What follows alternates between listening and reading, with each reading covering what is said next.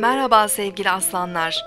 Bugün insanlar sizden etkileneceklerdir. Özellikle de yaratıcılık gerektiren işlerde birçok değişim gerçekleştirebilir, çok değişik yöntemlerden yararlanabilirsiniz. Bu şartlardan sonuna kadar faydalanmalısınız. Bugün 26 Nisan 2014 Cumartesi, Satürn günündeyiz.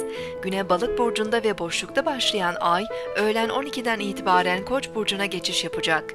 Sabah saatlerinde dağınık ve belirsiz olan enerjiler öğleden sonra daha canlı ve dinamik hale gelebilir. Koç burcunda ilerleyen ay, yeni adımlar ve girişimler konusunda cesaret verebilir.